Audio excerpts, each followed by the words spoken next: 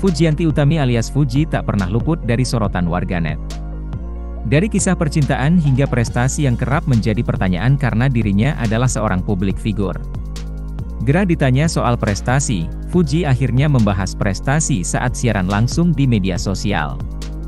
Ia mempertanyakan soal definisi prestasi kepada seseorang di sebelahnya. Saat Fuji terus ditanya soal prestasi, orang ini pun lantas membela, prestasinya, cari uang 150 juta rupiah sehari. Fuji yang tak bisa berkata apa-apa lagi hanya bisa mengaminkan ucapan tersebut.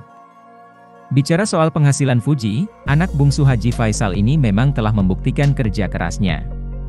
Terbukti, sebuah rumah megah ia beli dengan kisaran 13 miliar rupiah secara cash. Tak hanya itu, sejumlah barang branded juga menempel di tubuh Fuji.